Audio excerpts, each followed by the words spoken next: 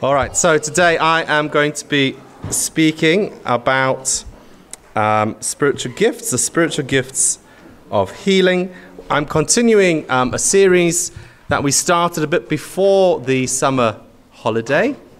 Um, and we've already said quite a lot about spiritual gifts. So if you've missed those, um, I would encourage you to do go and have a listen or a watch of them on, on our website, um, just so that you can sort of fill in some of the, the back the backstory, as it were, to, to fully understand what we're talking about today. I will do a quick recap, but let's first find our verse that I'll be using today. It's one I've been using quite a bit throughout the series. It's from 1 Corinthians 12, um, starting at verse 7. 1 Corinthians 12, verse 7.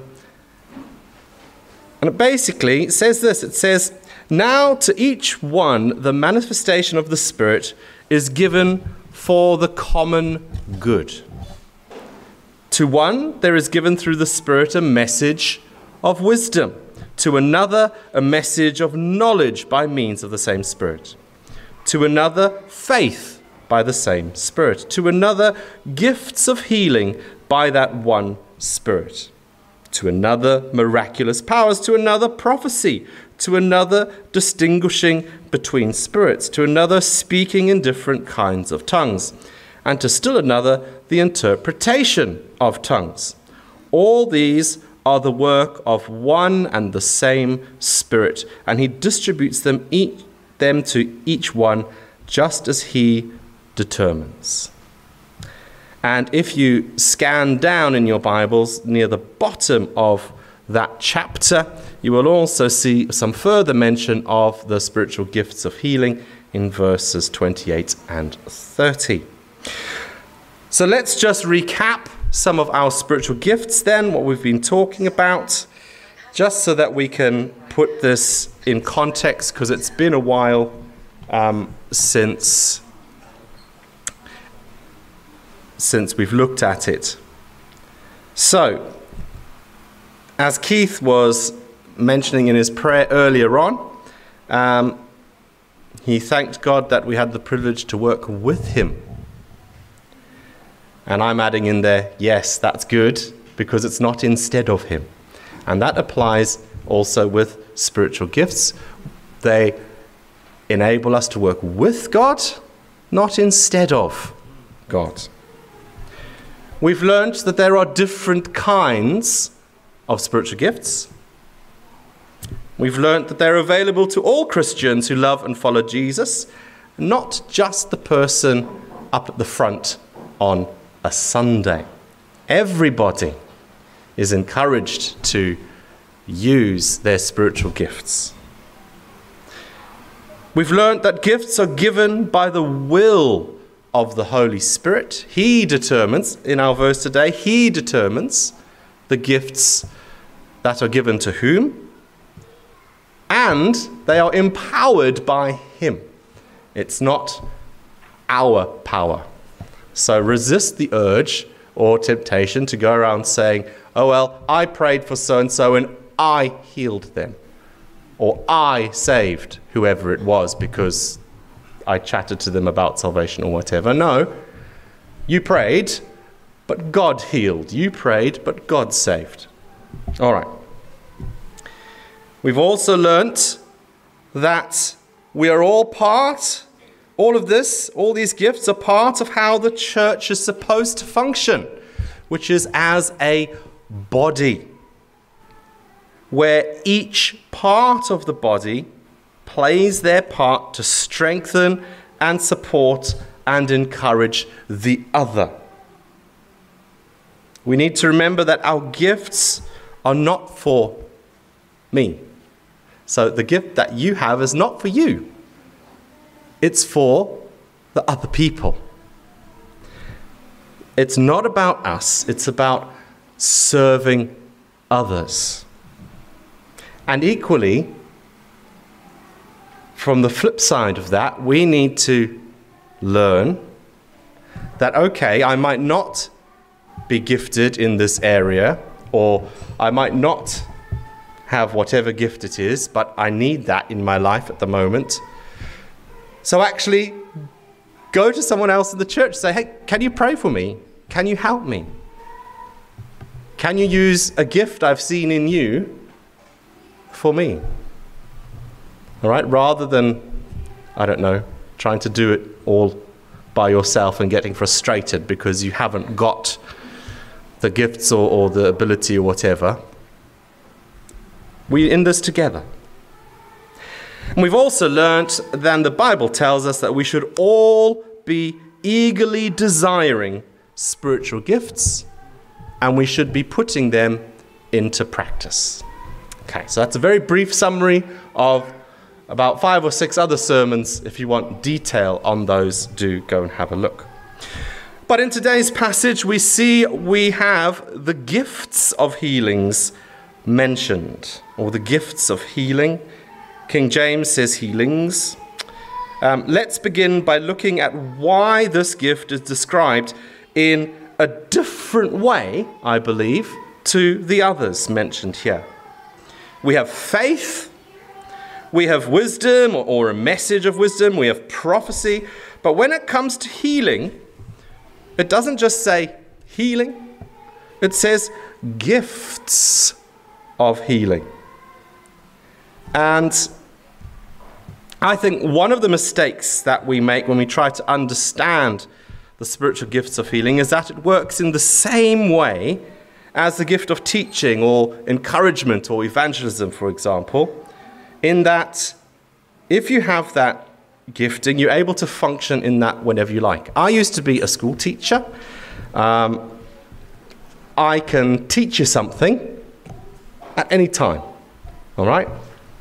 I can sit down and scribble something out and, and teach you whatever it is. I can do that. But if we when, when we talk about healing, we can sometimes assume that it works in the same way. That if we have the gifts of healing, that we can just heal people like that whenever we want, you know, or the Holy Spirit works through us to heal people, whatever. Okay?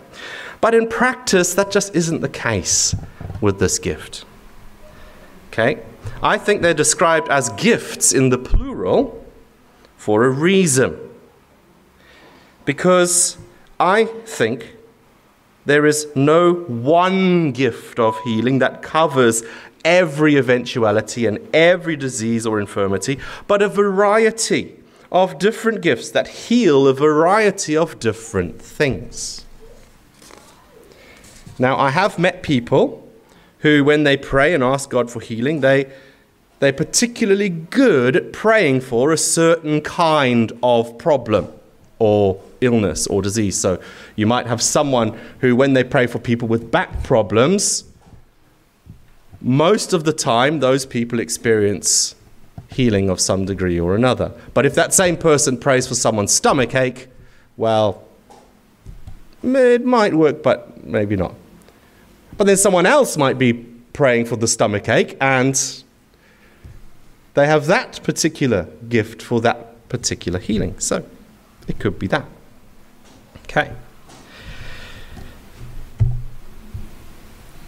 So, I think there's a variety of healing gifts that can work in this way. Now, this is it's an interesting one because I've heard sermons on healing before.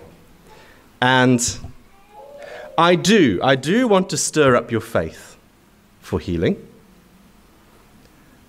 But I also want to balance it with what the Bible actually says and what it doesn't say as well. So, I have seen others prayed for and healing take place. I've, I've seen it happen. I've also prayed for people and they've been healed. It's happened. Sometimes it's happened right there on the spot, other times it doesn't, and they tell me a bit later on that the healing came a little bit later. And that's usually where preachers kind of stop and they move on to the next point. But I think it's even more important to say, I have prayed for people to be healed, and they have not been healed at all. And I would say that in my case, that's at least 70% of the time. When somebody actually does get healed, it's, it surprises me as much as it surprises the other person. Okay? It doesn't happen every time. And a lot of people think that when you pray for healing, or, or, or, some other spiritual gifts as well, that you have to follow some kind of magic formula. If only you say the right words in, in the right order, or maybe at the right volume. Yeah, the sound system was too quiet. That's why people didn't get healed. Yeah, whatever. Okay? It's not about how loud you pray or how many times someone whacks you on the head with a Bible or whatever it is. Okay, I've seen some funny stuff, right? And some of it's just plain weird. Okay? It's not about that. Okay? And that won't determine whether you receive your healing or not.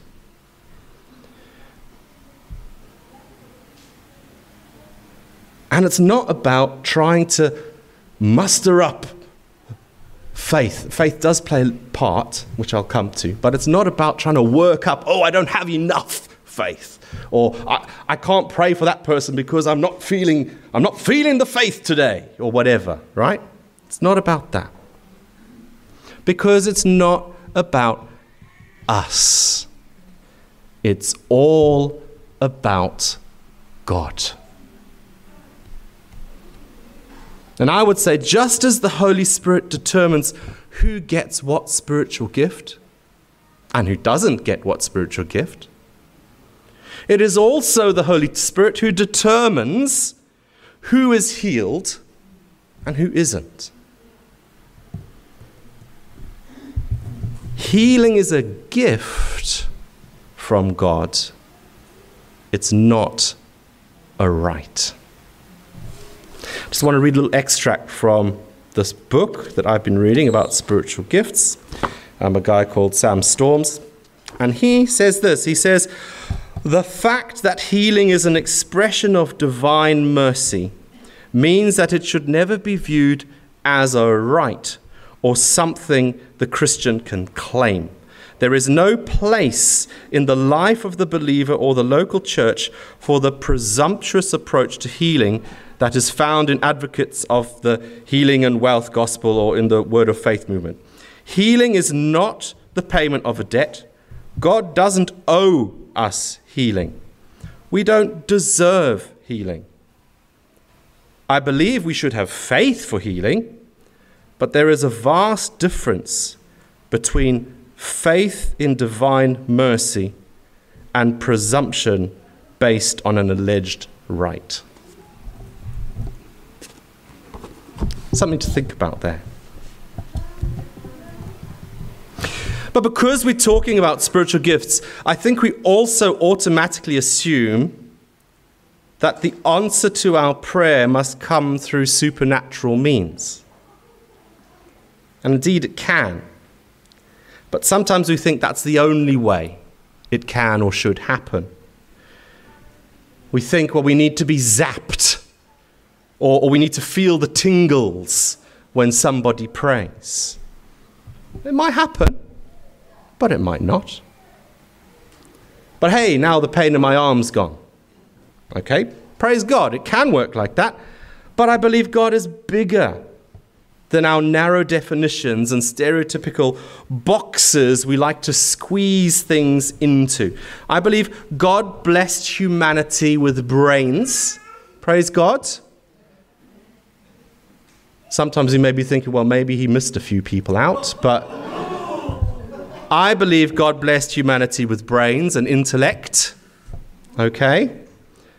He's blessed us with intelligence and with a desire to discover and learn new things about this wonderful creation that He's made, to use our understanding and the scientific principles God has put into place. And yes, God made biology. God made physics and chemistry. Whoa, yes. God made these things. We just discover what He's already done as we study them. And humanity has taken these God given abilities and talents and put them to good use. And over the years, we have developed all sorts of amazing things, like better housing. Yeah? Aren't you glad for your double glazing and your central heating? You're not still living under a bush somewhere, you know, in a tent. Better sanitation flushing toilets. And if you look back in history, you know, that, that, that's a fairly recent development. Praise God, they're fantastic. And medicine. Now, I don't believe that medicine is of the devil. It's one of the many blessings of God. Right? It reminds me of a story. I'm sure you've heard it before. Reminds me of a story of a guy who was caught in a flood and he climbed onto the roof of his house in order to survive and await rescue. And while he was on the roof of his house and the waters were all around him, he, he prayed and he said, God, please, will you rescue me from this terrible situation? And after a little while, along came a chap in a canoe and he said to the guy on the roof of the house, There's space in my canoe, why don't you jump in? I'll, I'll take you to safety. But the chap says, Well, no thanks. I've prayed and I'm asking and, and, and waiting for God to come and rescue me. So he said, All right, fine, and off he went. A little while later, someone in a speedboat pulled up and said, Hey, why don't you jump in the speedboat? I can take you to safety, no problem. But again, he said, No thanks. I'm waiting for God to rescue me. And then a little while later, a helicopter hovered overhead, and the guy with this little loudspeaker said, Hey, you down there, we're here to rescue you, we're here to save you. And the guy says, No thanks. I'm waiting for God to rescue me. So off the helicopter flew. A little while later, the man drowned. And when he got to heaven, he was rather cross with God. And he went to God and he said, Well, so what's the deal then? I prayed and asked you to come and rescue me. Why didn't, what happened? I've died. Why didn't you come and rescue me? But God responded and said to him, Well, I sent you a canoe, I sent you a speedboat, and I sent you a helicopter, but you didn't take any of them. So there you are. It's wonderful to be healed supernaturally. But don't dismiss the blessing of medicine that God has also given to us. Well, let's look quickly at the role of faith in healing. So, what about this aspect of faith then? Because it is mentioned quite a bit in the Bible in a load of various different places when healing is being spoken about. So, it is true that is mentioned in lots of places, but there are some places where it's not mentioned in healing stories. If we look at John 5:19, we hear of the man who had been an invalid for 38 years. We see no evidence of faith on his part, yet Jesus still heals him. And if we look at the Gospel of John as a whole, faith isn't mentioned as a prerequisite of healing in there either. However, most cases where Jesus healed, it was in response to somebody's faith. When Jesus saw the friend, the faith of the friends of a paralytic man, you see the story in Matthew 9, he healed him. And in the same chapter, Jesus restores the sight of two blind men according to their faith. But notice something about faith here. Let me just read you the story very quickly. So I want you to notice something. So, Matthew 9, verse 27. As Jesus went on from there, two blind men followed him, calling out, Have mercy on us, son of David. When he had gone indoors, the blind men came to him, and he asked them, Do you believe that I am able to do this? Yes, Lord, they replied. Then he touched their eyes and said, According to your faith, let it be done to you. And their sight was restored. Notice something about their faith here. It's not the strength of their faith, it wasn't faith itself that brought about healing. Jesus didn't ask them if they had faith that it was his will to heal them either, just that they had faith in his ability to do it. So, asking ourselves how much faith is required is the wrong kind of question, but rather, in whom are we placing our faith? Faith is important because it takes the focus away from us and puts it onto Jesus. Having faith admits our weakness and relies upon His strength and His ability. Faith is not a force that compels God to act, it's a laying down our will in submission to His and relying on His grace and His mercy. Jesus did tell us to pray for the sick. He did say that people would be healed if we prayed for them. But he didn't say everyone we prayed for would be healed. Don't get me wrong, I truly believe in a God of healing, and I know the Holy Spirit still heals supernaturally today. I've, I've seen it.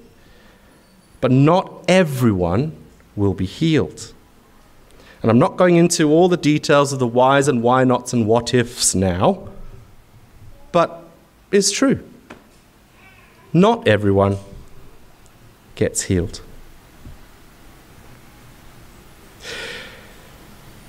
The big thing I want you to remember, if nothing else, from today's sermon is that we don't do the healing. God does. It's not up to us, it's up to God. And sometimes God's ways are not our ways. Sometimes what we think is the best for us or our loved ones is not His way. It's our responsibility to obey, to pray for healing. But then the rest is up to God.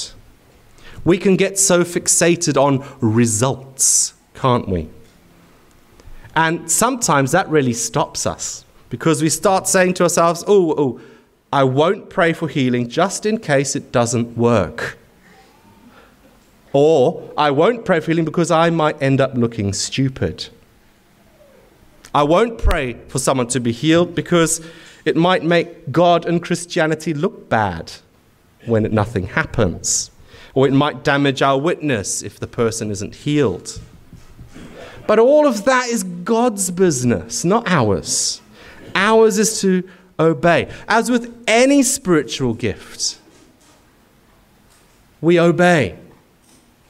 And then the rest is up to God.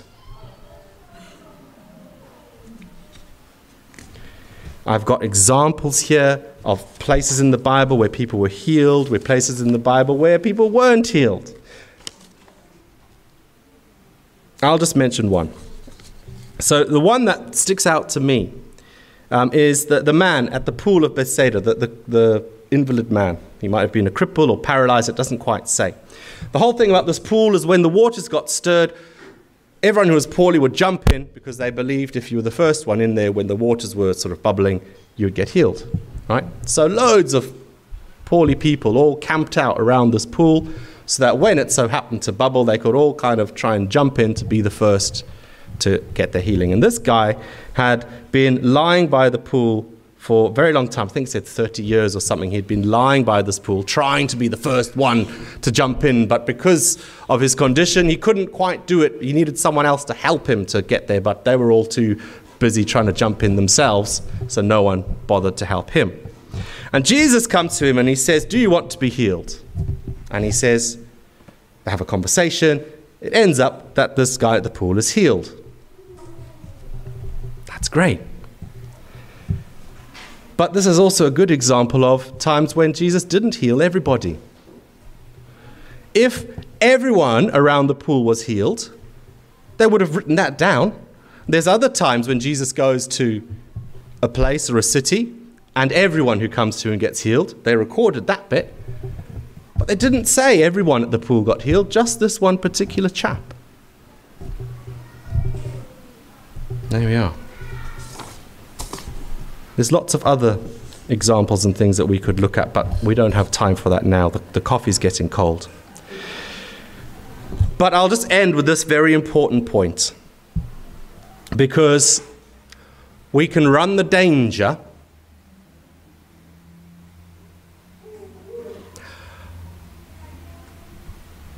healing yeah we can run the danger of losing sight of the image of God in people if we're not careful.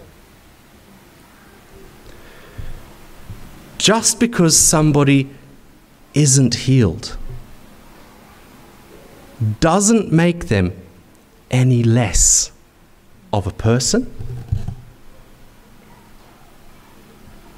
It doesn't make them any less of an image bearer of God.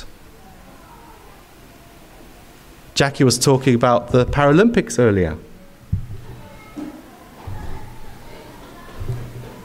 Doesn't mean that because you have a, a disability or whatever, it doesn't mean you're less. Doesn't mean that God can't work in your life. He can, and He does. I was really blessed watching the news the other day. I don't get the option to watch the news every now and then, but sometimes I do. And a Paralympian was being interviewed and asked about she'd fallen off her bicycle a few days before and had crashed out of that race, and she really didn't feel she could get back on again, but she did, and she won a medal when she did a few days later. And they said, Well, what gave you, you know, what gave you that determination to get back on your bike and, and have another go? And she just shared about Jesus. She just spoke about her faith.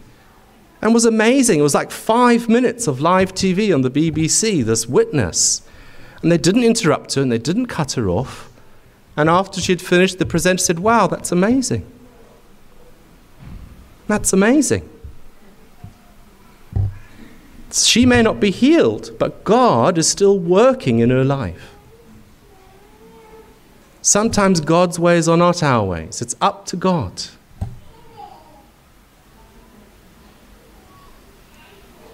And if we think about it honestly, are any of us perfect this side of heaven?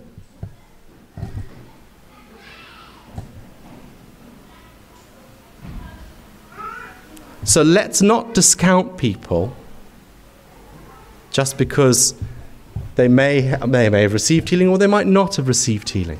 We're all in this together. We're all still part of the body together.